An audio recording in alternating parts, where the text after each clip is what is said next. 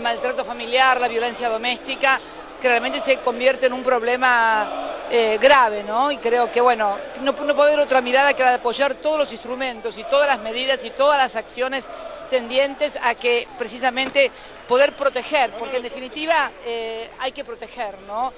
No solamente a las mujeres, a los chicos también, porque el otro día había la imagen del hombre que le pegaba a la mujer cuando iba con el chico, que fue terrible.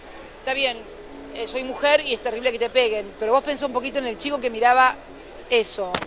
En realidad eh, creo que la madre le puede haber dolido los golpes, pero lo que ese pibe vio de ver al padre pegándole a la madre no se lo, lleva, no se lo olvida nunca más. Cuando un hijo ve que el padre le pega a la madre y la ve sufrir, los chicos no tienen capacidad para procesar esas cosas o para entender esas cosas.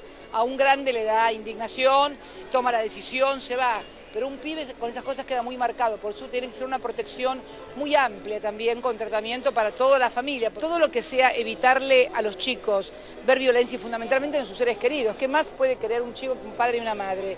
Cuando ve agresiones físicas o agresiones verbales, eh, bueno, creo que son tan graves las unas como las otras, ¿no? Sinceramente pueden marcar mucho a una persona las agresiones verbales o los insultos o los agravios. Sobre todo marcarlo como ser humano y sus relaciones afectivas para, para su vida de adulto, ¿no? Por eso digo que la protección familiar no solamente es la protección sobre la mujer en sí agredida, sino también sobre todo su entorno familiar.